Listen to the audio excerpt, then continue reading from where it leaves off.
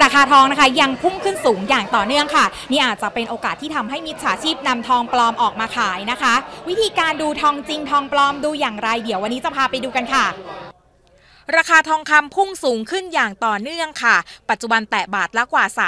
37,500 บาท มิจฉาชีพรวมทั้งร้านค้าออนไลน์ใช้โอกาสนี้หลอกขายทองคำปลอม ในรูปแบบต่างๆนะคะ เช่นทองเกรด A ทองไมครอน ทองโคลนนิ่ง ทองยัดไส้รวมถึงทองรูปพรรณค่ะ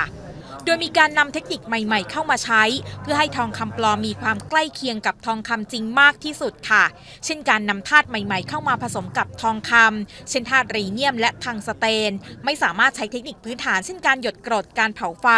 รวมถึงตรวจสอบได้ด้วยตาเปล่า หรือว่าการใช้เครื่องมือตรวจสอบขนาดเล็กตรวจวิเคราะห์ได้ค่ะ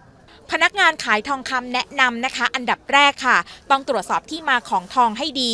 ร้านทองต้องมีสถานที่ตั้ง มีประกาศราคาทองคำขึ้นลงอย่างชัดเจน สัญลักษณ์ที่ต้องสังเกตทุกครั้งคือป้ายสมาชิกสมาคมค้าทองคำค่ะ หลีกเลี่ยงนะคะ การซื้อทองคำผ่านช่องทางออนไลน์ ไม่ว่าจะเป็นทองคำแท่งหรือทองคำรูปพรรณค่ะ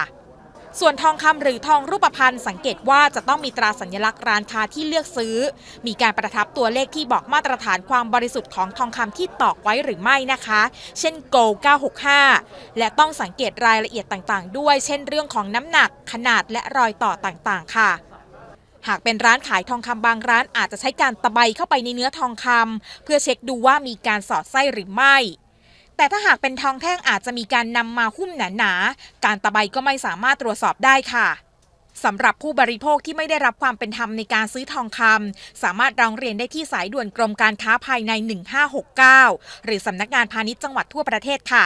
หากพบการกระทำความผิดจะดำเนินการตามกฎหมาย กรณีไม่ปิดป้ายแสดงราคามีโทษปรับไม่เกิน 10,000 บาท กรณีใช้เครื่องช่างโดยไม่ผ่านการรับรองมาตรฐานจากกรมการค้าภายใน